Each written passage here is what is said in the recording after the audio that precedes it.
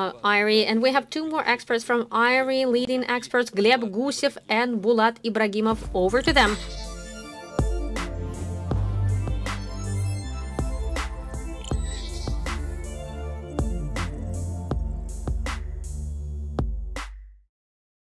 Good evening. We represent the Institute for AI and a group for theory and algorithms. When I ask the students, young men, and older generation alike today, what is AI for them today? What sort of applications of AI can you name? What successful stories of AI application can you name? More often than not, they name working they name working with images, like super resolution of an image, or something that even goes more with the fashion, but normally that's really limited when you apply it in practice. For example, self-driving cars that are not yet ready for market, by all means. They name systems that with reinforcement learning can win in a game of Go or chess against human. And they, by all means, call deep learning and neural networks that are behind all of those apps. And then I say that in the future, we shall see a lot of apps, but right now, in terms of global economics, what are the apps that are making major contribution based on AI? What are the apps that make a major contribution into the development of this approach? Search systems, systems of recommendations, social networks, and other internet applications that we use every day are based on the same principles and algorithms for statistical machine learning. And in these traditional areas, they use gradient boosting. Gradient boosting is useful when you have a ton of different features that have different nature, when many features are made manually by a coder or those features are delivered from other models like neural networks. Gradient boosting can aggregate very well, it's quite flexible, and unfortunately, there are not so many publications lately that show how to improve gradient boosting. The quality of it, because it's a quite a legacy algorithm and there are not many things that you can vent to it. We wanted to tell you about the work that makes contribution into gradient boosting and denies the point of view that there's nothing that you can do pretty much with gradient boosting. Let me hand over the mic to the major author of this work, Bulat Ibragimov. Bulat, I have this one, thank you. Gleb, thank you, indeed. Quite often in the apps, we can see neural networks uh, to images, video, etc. However, we forget that the world is not only multimedia, also different sort of tables, uh, heterogeneous data that have figures in them, categories in them, text in them, and gradient boosting is able to cope with those tasks the best. So we decided to try to find out the optimal number of trees and see what's the optimal number of trees that is necessary for gradient boosting to get the model of the best quality. And as uh, our presentation says, we are still suggesting to learn together. So my story will consist of a number of parts. First of all, I will briefly remind you what are the parts of gradient boosting. Then I will discuss the problem, set the problem that we'll be discussing. And then I will talk about the approach to tackle this problem. And then we'll be talking about validation protocol to evaluate the quality of our approach. And I will demonstrate a couple of experiments showing that our approach indeed works and can directly improve the quality of today's model for today's tasks. So, gradient boosting is the ensemble method to build algorithms that is based on this. We have a set of weak algorithms, and with them we want to build an ensemble, a model that will be giving decent quality and solve our business tasks, etc. For that, we're training the first simple model, and we see what error that model gives us for our object. To be more precise, we count gradients of errors for every object. Every next model is trained based on those gradients so that our goal to decrease the number of errors or to put it scientifically, we're doing a gradient step in a functional space. So we add the model to our ensemble. After a number of steps, we get a potent model that solves the task with minimal error. So the key problem in building ensemble and gradient boosting is how do you select the optimal number of trees, meaning steps. The classical situation for machine learning in general, if we use a model that's too simple with low number of trees, we get the undertrained model that cannot identify all of the patterns in the data. If we use too many trees and too flexible model, this is the overtrained model that can catch the complex patterns in data, but it retrains based on accidental noises, it's unstable in terms of delivery, so we want to find a perfect point for a good model between undertrained and overtrained model. So classical approach is that with the use of some sort of uh, cross-validate uh, cons consultative pool, we evaluate the quality of our model for every given point of time, so for every given number of trees, and we build a graph based on averaging, and we build certain pipelines or standard deviation, so standard error deviation. So when we get this learning curve, we can select a perfect point and see in which point we get the minimum, in which point the error stops going down, and we see that this amount of trees there is perfect. So this is the approach which, in our opinion, is a key error made by modern researchers.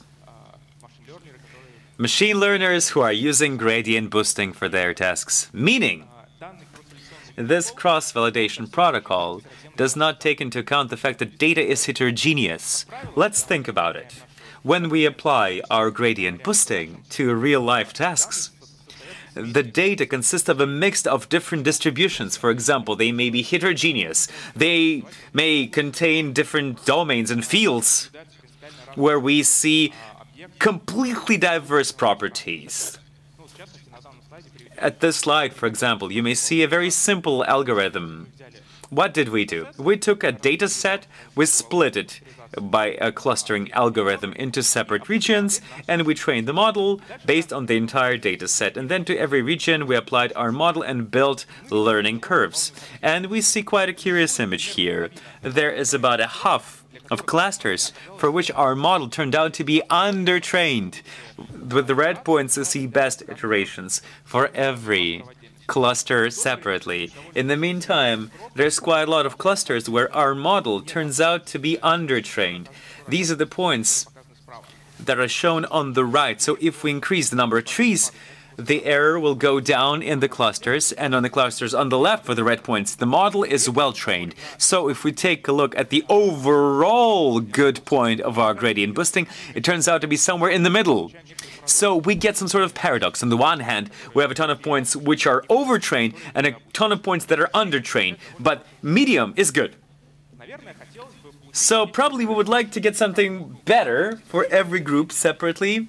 We would like to calculate separate perfect point and restore optimal installations. So there's this naive approach that suggests let's just take for every object and calculate the optimal point of stop and build some regression model or classification model that will predict this point. Unfortunately, this is too naive. It does not work. Why? Because let's take a simple look at um, uh, the graph of dependencies uh, of error for every single object separately, depending on the number of iterations. And we'll see quite a noisy image. I mean, the gradients, I mean errors per every object, are changing quite significantly. The oscillation is a bit too much. It looks like an accidental Gaussian noise, and there's some actually this this actually purple graph is random Gaussian process was pretty much the same compared to the history of learning and training for every single object. So if our task is predicting optimal point, that evaluation probably will be overinflated because uh,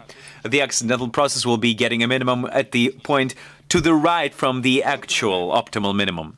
So what do we suggest? Our main idea is let us take with a certain clustering algorithm and break apart our selected spaces into the sea of regions and in every region separately we'll compute the perfect points of stop. The approach is simple and evident. Unfortunately, however, it's not well described. So we are filling the gap. So we have broken apart the space into C spaces in every region based on cross-validation selection. Based on evolution folds, we continued to the optimum point, and we applied this model to our test pool, test data set. So we're looking at test point, we refer to a particular cluster, and depending on which cluster it falls to, we assign a particular optimal number of iterations. And we truly hope that the uh, evaluation that we get is better than universal ensemble size. In this protocol, like in any other method that's only suggested in white papers, there's a problem. How do you validate that? Whether it truly works, that's the main elephant in the room. It's not quite evident how would you qualify the clusterization. Whether it works or not, oh, we should just preserve universal method of stops, which is quite classical and has been working for decades. In addition, our algorithm delivers additional hyperparameters into training. For example, how do you cluster objects? Really, what clustering algorithm you'd be applying? Second question, what's the number of clusters that you select? Third question, what are the properties of these clusters? Meaning, what's the size of these clusters? The perfect size. And the problem is that directly via cross-validation selection, it's impossible to answer all those questions. Why? Because via cross-validation selection, you are selecting optimal point of stop. If we do the same cross-validation selection to validate for scoring, our approach, uh, the, we see that the more clusters we have, the, the better is the quality. However, in the real life, in the test, we'll see a radically different image. Also, it's probably evident that if we increase the number of clusters, then indeed we will catch some local particularities, but in the meantime, the uh, score will be more noisy because we will be making a conclusion based on lower number of subjects. So, I suggest a different evolution protocol that's also described in our white paper. So, it consists of uh, this cross-validation, S1, S2, SK, etc., and every fold is split into a number of clusters. In a unified way, please take a note that breaking into folds or clusters are completely independent. The, the folds are made based on uh, random subsampling and breaking apart into region is based on clusterization algorithm. So what do we do next? We put out from consideration a fold queue. We put it out of consideration and we aggregate learning curves for every cluster taken into account all of the folds, apart from the queue that we have fall, we have dropped out. Based on this result, aggregated result, we evaluate optimal point of stop and apply it to the previously uh, dropped uh, queue fold. So, we have evaluated the optimal stop point on all the folds except for one, and we can use the dropped fold to evaluate the quality. This algorithm does not fully eliminate the deviation. Of course, the fold queue has been used to train based on S1, S2, etc. folds, but uh, you will see in the experimental section that this algorithm is pretty much awesome, helping us to decorrelate the results of our cross-validation selection.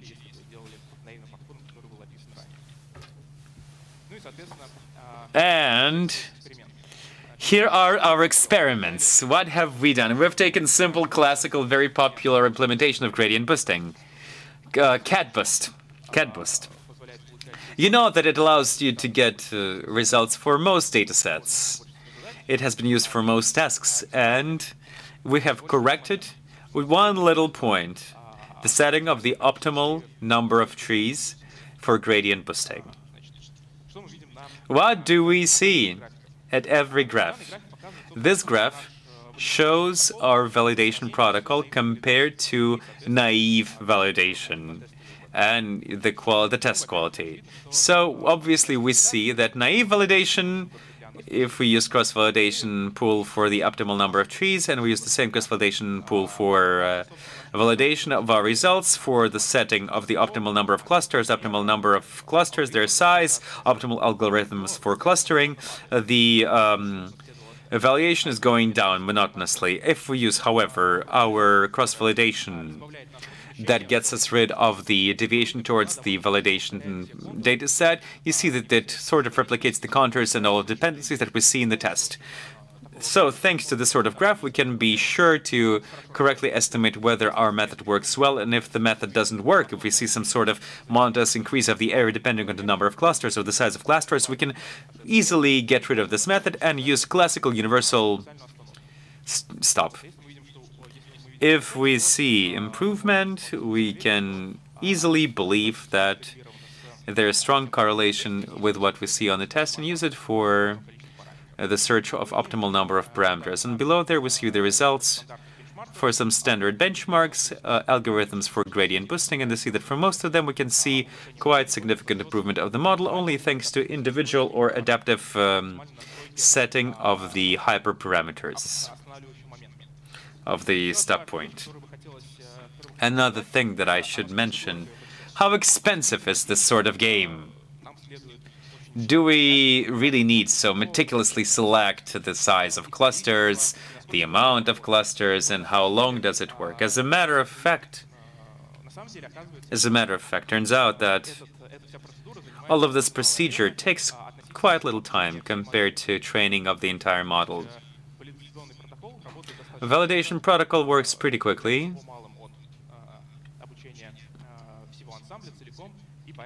And therefore, overall tuning doesn't cost you much. So pretty much for free, you can get decent quality. You can get new method for adaptive stop point, and this method could be easily implemented to current implementation of gradient boosting, if you have those, and also in the open source project and gradient boosting that's used in businesses individually, etc., and for particular tasks as well. Therefore, I will conclude. Thank you very much for your attention. I hope there are questions.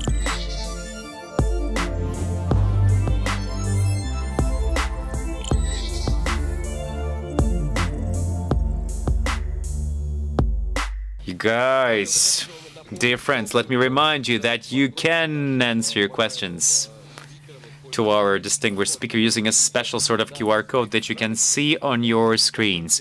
Please do not hesitate to scan the QR codes using your smartphone and ask questions to our distinguished guests.